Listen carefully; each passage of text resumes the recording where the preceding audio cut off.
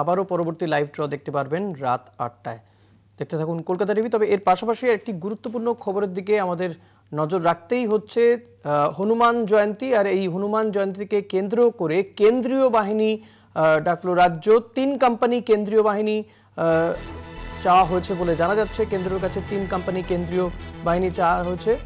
হনুমান জয়ন্তী আগামীকাল ছয়ই এপ্রিল হনুমান জয়ন্তী। তার আগে কেন্দ্রীয় বাহিনী চাইল রাজ্য।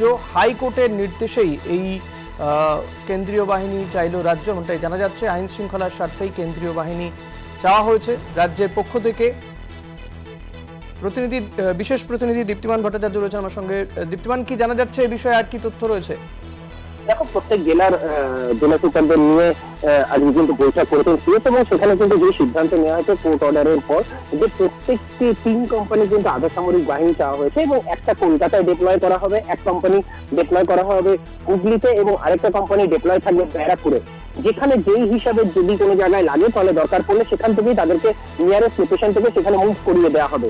এইভাবেই কিন্তু আপাতত প্ল্যানিং করা হয়েছে এবং প্রত্যেকটা জায়গায় যেই যেই জায়গাগুলো প্রবণতা এলাকা হিসাবে দেখা হচ্ছে সেখানে কিন্তু ব্যারিকেড যেরকম করা হবে, তার পাশাপাশি ভলেন্টিয়ার যারা রয়েছেন, যারা মূলত এই কাজে যেই যেই সংগঠন থেকে বা যারা যারা এই মিছিল বের করবেন, তাদের যে ভলেন্টিয়ার্স রয়েছে ভলেন্টিয়ার্স এর কিন্তু নাম নথিভুক্ত করা হচ্ছে, তাদের উইথ ফটো আইডেন্টিটি তাদেরকে নাম নথিভুক্ত করা হচ্ছে এবং যেই যেই জায়গাগুলো দিয়ে এগুলো যাবে, যেখানে যেখানে এই মিছিলগুলো করা হবে, সেখানে যাতে রুট মার্চ করা করা যেতে পারে রাজ্য পুলিশ সেখানে যেন প্রত্যেক সকাল থেকে যেন মোতায়েন থাকে এবং কোন কোন জায়গাগুলোতে ভালনারেবল হতে পারে, সেই জায়গাগুলোকে চিহ্নিত করে আগে থেকেই সেখানে যেন বেশি করে পুলিশ মোতায়েন করা হয়। এই যে তিন কোম্পানি সবুজ সংকেত কি পাওয়া গিয়েছে কেন্দ্রের পক্ষ থেকে? যদি কেন্দ্রীয় বাহিনী আসে তাহলে কবে থেকে ডিপ্লয় হবে?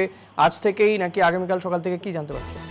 দেখো যেটা আজকে কিন্তু এই মাত্র একটু আগে জাস্ট সিদ্ধান্ত হয়েছে এবং এই এই মোতাবেক যেহেতু কোর্ট থেকে বলা হয়েছে যে সব রকম সহযোগিতা করবে কেন্দ্র। সুতরাং আজকে থেকেই হয়তো কিছুক্ষণের মধ্যেই হয়তো যেখানে যেখানে কি ব্যারাকপুর কলকাতা এবং হুগলি আমরা জানি এখানে ডিপ্লয় করতে হয়তো বেশিক্ষণ সময় লাগবে না। একটা অর্ডার পাস করে এবং তাদের সাথে কথা বলা এবং তারপরে হয়তো আজকে রাতের মধ্যেই বা কাল সকালের মধ্যে কিন্তু প্রত্যেকটা জায়গায় নিয়ারেস্ট লোকেশন ওগুলোতেই কিন্তু এগুলোকে ডিপ্লয় করে দেওয়া হবে।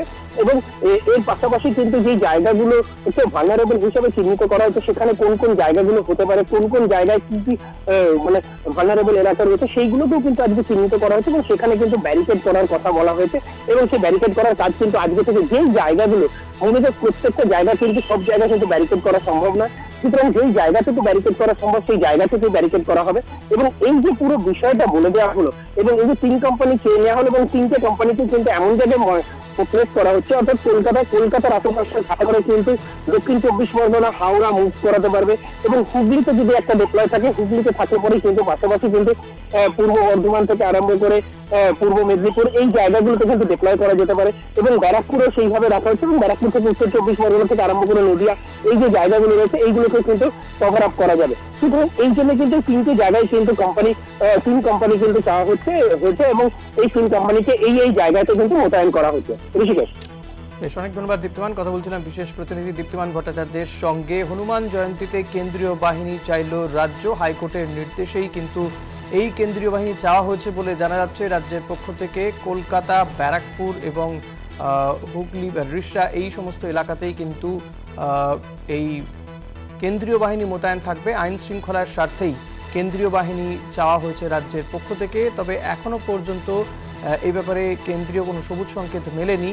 সেক্ষেত্রে কবে, অর্থাৎ আজকে রাতেই নাকি আগামীকালের মধ্যে, আগামীকাল সকালের মধ্যে ডিপ্লয় করা হবে তা এখনও পর্যন্ত পরিষ্কার নয়।